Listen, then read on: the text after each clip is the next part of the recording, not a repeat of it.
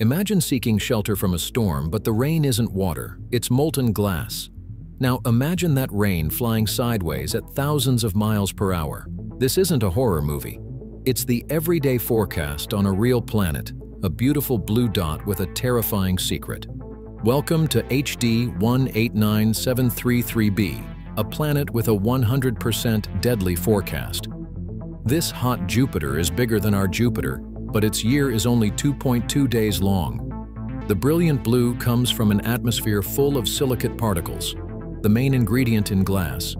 In its 1700 degree heat, these particles form molten glass rain, pushed by winds blowing at 5,400 miles per hour, seven times the speed of sound. The glass doesn't fall down, it flies sideways. Getting caught in this storm of razor-sharp glass means being shredded instantly. This isn't a storm you can wait out.